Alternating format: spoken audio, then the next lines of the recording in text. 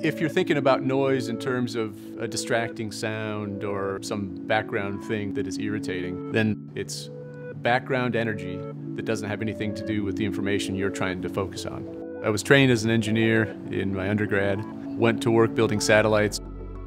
Everything has to be really tightly synced in that whole system. And you're thinking about sending energy up from the Earth, 22,000 miles up to a satellite, and then 22,000 miles back somewhere else you have stuff in the atmosphere that creates noise. Things just don't work if you have too much noise. I was still working as an engineer when I decided to go and, and study finance more formally. And what I realized is that there's a lot of stuff out there that doesn't really help you make investing decisions. And to me, that was all noise. And it was in my first finance class at UCLA, and one day they came and handed out a, the Dimensional Fund Advisors Harvard Business School case. So my group and I studied dimensional fund advisors. And I knew that it was really tough to beat the market. I knew that there was this body of work where we actually knew something about financial markets and it was scientifically testable and, and scientifically demonstrated.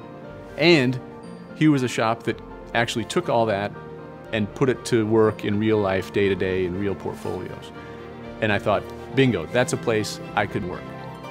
Like in engineering, when you have a set of basic research and you can use those facts to go and design a bridge or design a skyscraper, you have some idea of how things are going to behave, but then the exciting part is when you actually build something and the noise and the randomness happens and you need to make decisions that deal with that. And I think finance, and more specifically managing portfolios in the way Dimensional does, is very, very similar to that. We have a set of things that we know based on the work of Fama and French and all the other academics that we work with. And we use that to design portfolios. But then when we go and interact with the market every single day, there are things that happen that you can't anticipate. What sets Dimensional's philosophy apart gets back to this whole distinction between information and noise. There's so much noise and so many places that it can come from, whether it's someone watching the news or someone reading an article or even someone uh, looking at, at data themselves. What parts can you ignore? What parts should you pay attention to? And that's, that's why it's satisfying.